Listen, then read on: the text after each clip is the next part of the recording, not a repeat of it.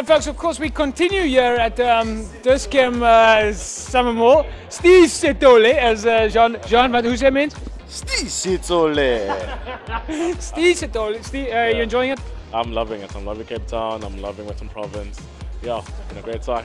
The fans have been, they were clamoring over you. You enjoying it, Western Province? Yeah, no, loving Western Province, loving Cape Town, everything about it. It's a great union, yeah, great to be part of it. Uh, High Performance Center, you guys, are, we were just talking to, to, to France and Jan about it now. You, you guys are training hard, uh, a lot of Evox products, the proteins and so on, flowing strongly there. Yeah, no, grateful to be sponsored by such a great brand, Evox. Uh, always helping us out in the gym and everything like that. So yeah, no, keeping us strong and fit for the season. John, welcome back, my man.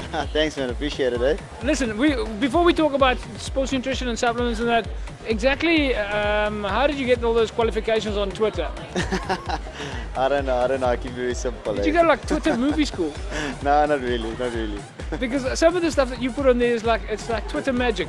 No, it's just me entertaining, being, um, bringing out the personality and entertaining the, the people out there. But you've, you've obviously educated a couple of other players as well because I see now they they they they're either doing hip hop moves in the car or they've got I don't know funny beards or moustaches or hats on their head. I'm not too sure about that. I'm not too sure. Um, I mean, you've been now with the Springbok team.